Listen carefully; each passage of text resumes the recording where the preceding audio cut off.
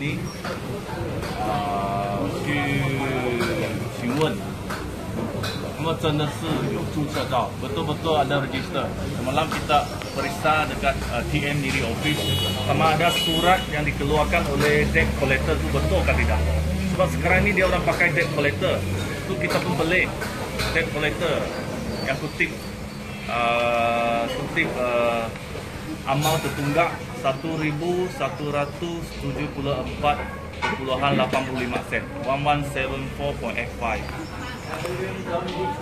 untuk internet internet package yang di kononnya dia yang apply 他申请的，是已经确认了是由他是按照他的名字，然后地址是在 Ocean Park。 那时候你住那边吗？当时他们是租那边 Ocean Park 的时候，ada masa itu dia orang sewa dekat Ocean Park，有地址吗？七六几年？七六二那个是二零二零二零零七九七年，啊，九七七是他们九七七后来搬去隔壁，九七九七六先后来一年都要搬去隔那时候发生事情都是哪一个九七六他他他对九七六。？Ocean Park。Masa masa itu betul-betul dia orang tinggal sana. Sebab the address is quite important. So we want to find out. Some some are registered in Lawas, some registered in Semenanjung.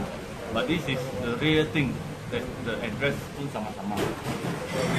但是但是问题是他们没有申请 internet 来的。No no installation, no application on at that premises at the house address. 所以呃。